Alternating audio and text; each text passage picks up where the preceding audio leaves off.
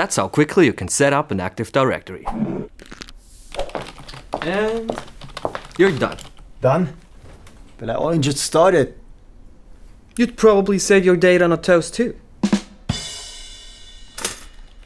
And instead of making it unnecessarily complicated for you, just do it like Steven.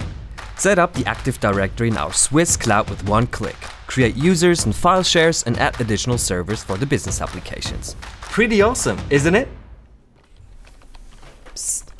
Done with the Active Directory? Just activate the required number of remote desktops and your customer can work in the cloud. You can also migrate existing data with just one click.